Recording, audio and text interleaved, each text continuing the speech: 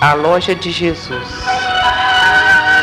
Entrei numa loja e vi um senhor no balcão.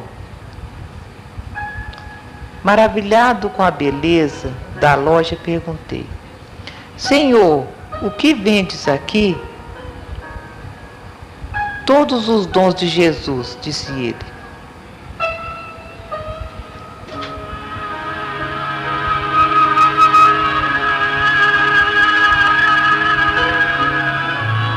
E custam muito? Voltei a perguntar. Não custa nada. Aqui é tudo de graça. Contemplei a loja e vi que havia jarros de amor, vidros de fé, pacotes de esperança, caixinhas de sabão, muita sabedoria, saúde, fardos de perdão pacotes grandes de paz e muitos outros dons de Jesus.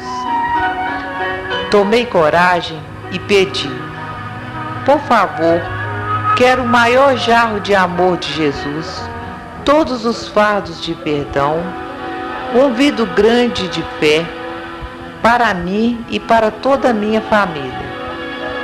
Então o Senhor preparou tudo e entregou-me um pequenino embrulho que cabia na palma da minha mão. Incrédulo, fiquei e disse: Mas como é possível estar aqui tudo o que eu pedi?